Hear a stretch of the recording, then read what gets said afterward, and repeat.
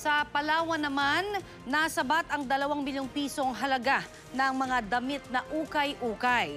Ayon po sa PNP CIDG, bawal sa batas ang pagbibenta ng imported na mga damit na gamit na.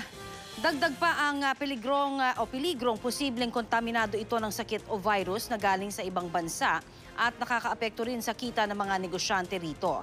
Iimbak muna ang mga nakumpiskang ukay-ukay sa CIDG Palawan habang nakikipag-ugnayan sila sa iba pang ahensyang nakakasakop sa kaso.